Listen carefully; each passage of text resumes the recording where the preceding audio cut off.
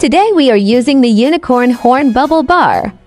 This is full of lavender oil, ilang ilang oil, neroli oil. To me, it's a gorgeous sweet lavender dream. Pop some in my little sieve as usual.